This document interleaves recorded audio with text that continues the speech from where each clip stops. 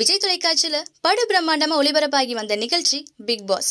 இது வரைக்கும் ஐந்து சீசன் நிறைவடைஞ்சிருக்க நிலையில பிக் பாஸ் அல்டிமேட் என்ற நிகழ்ச்சியும் இடையில ஒளிபரப்பானது.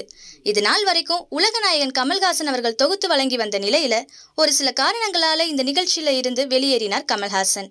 அவருக்கு பதிலா யார் வர போறாங்கன்னு ரசிகர்கள் எதிர்பார்த்து கொண்டிருந்த சமயத்துல நம்ம லிட்டில் சூப்பர் ஸ்டார் சிம்பு அவர்கள் தொகுத்து வழங்க போறதா ஒரு செய்தியும் பரவி இருந்துச்சு.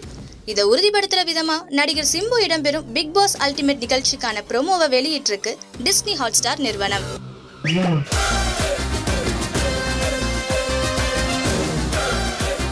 ரொம்பவே ஸ்மார்ட்டா சிம்பு இடம்பெறும் ப்ரோமோ உங்கள் பார்வைக்கு. எதிர்பார்க்கல நானே எதிர்பார்க்கல.